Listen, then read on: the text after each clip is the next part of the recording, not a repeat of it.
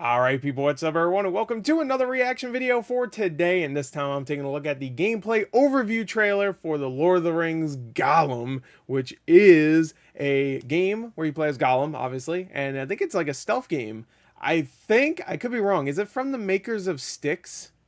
The, the little goblin guy that you have to go around being sneaky with? I think he is a goblin actually um, which is perfect because I mean, I mean, Gollum's pretty much a goblin. I mean, look at him. Um, so is disgusting ass. Um, so I'm actually looking forward to this game. I I'm not too sure if I want to play it though because I'm not really into like the the games where it's only stealth. You know what I mean? I love a mixture of like stealth and action. This one is obviously just going to be stealth. It looks like. Um, but uh, I am interested in seeing more, so let's find let's see more. This actually be the first time I see gameplay, because uh, I think at least could be wrong. I think it is. Um, let's take a look. Hi. Hey, I'm what's Harold up, man? Producer what's at up, man? Entertainment, and today I'm happy to reveal some exciting details about our upcoming game, The Lord of the Rings, Gollum. Golem, Gollum, potato, potato. Okay. Gollum has always fascinated us. While being completely essential to the story written by J.R.R. Tolkien, Gollum's long chase for his precious ring has never been told in detail. Yet his incredible journey from Mordor through Mirkwood I'm sure it's been told in fanfics. takes players to places they haven't seen like this before, while setting the stage for events that will ultimately decide the frame rates uh, all of Middle Earth. Gollum has pretty it's much pretty alpha. everywhere. It's pretty alpha. He's also pretty much met everyone and by looking at events from his angle, players will experience Middle-earth through the eyes and twisted mind of one of the most iconic characters of all time. All of that in our very own artistic style. From his time okay. in the slave pits of the Dark Tower to his stay with the elves of Ooh, it's looking nice. Creep, sneak, and trick his way past faithful, detailed environments, some of which have never been seen before in such detail. The Lord of the Rings Gollum is a cinematic stealth action adventure. I need to watch the Lord of the Rings movies again. It's been so long. really leverages Daedalic's expertise in crafting engaging stories. Gollum is no traditional hero. He's learned not to take any sides hero. other than his own, and some of the most powerful beings in Middle Earth. Is Andy Serkis voicing him? I don't think he is. In the game, you will meet some iconic I think, I think we already know that. but also interesting personalities less known to players, but nonetheless essential to the events unfolding. We've been highly faithful like Master Chief.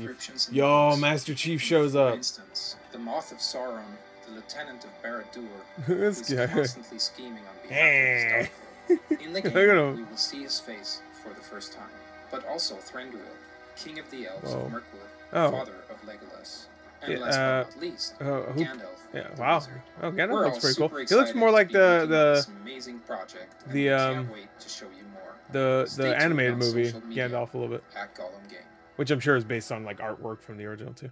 Um, I could be wrong. Maybe maybe it's not from the. I can't remember who made Styx, but uh, I thought they would mention Styx in there. But I guess Styx is not the biggest. Uh, can finally play a crackhead's life story. See, I wish they just said that honestly. Um, yeah, the gameplay seems a little raw. It's probably not coming until sometime next year, right? Did it say that? Yeah, fall 2022. Wow, holy shit. Damn. That's yeah, okay, so that makes sense. Um, so probably still in there almost a year and a half until that's out. Wow, okay. Well, I guess not, like a little over a year, really. But uh, okay, cool, cool, cool. I mean, what they showed was cool. It looked pretty nice. Uh, the character models look great. I really like um. This is uh, what's his name from uh, I never read the books by the way. Um, from The Hobbit. Uh, who played him again? Shit, we've seen him before anyway. Um, and then yeah. So uh, Daedalic Entertainment. Eh, I'll look it up later. And it was coming to Switch too. Look at that. Um, anyway, there you go. That is that. Uh, looks good. It just looks looks rough right now. Um, I'm assuming they just don't have any voice acting ready now. I, I thought it would be out like early next year. I didn't think it was gonna be late next year. Um, but uh, because I remember they announced this like what two years ago at this point was it two years ago? was it like early last year?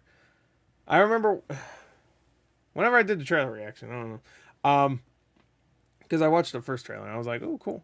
Um, that might have been early last year, but whatever. Anyway, it, it looks like it could be good. They just need to, you know, really uh, enhance it a little bit, a little bit, a lot of bit, really. Um, but uh, there you go. That's it. Lord of the Rings Gollum sounds interesting, especially if you. I feel like if you watch the movies before, and you're already accustomed to environments, or you read the books. I guess it might even be more based around the books. Um, and then you play this. Uh, it'd be kind of cool being able to go through all those environments, like the guy said. Like the, he, he's pretty much met everybody, so it's like it'd be cool to see all these characters now. Um, anyway, there you go. That's it. Bye.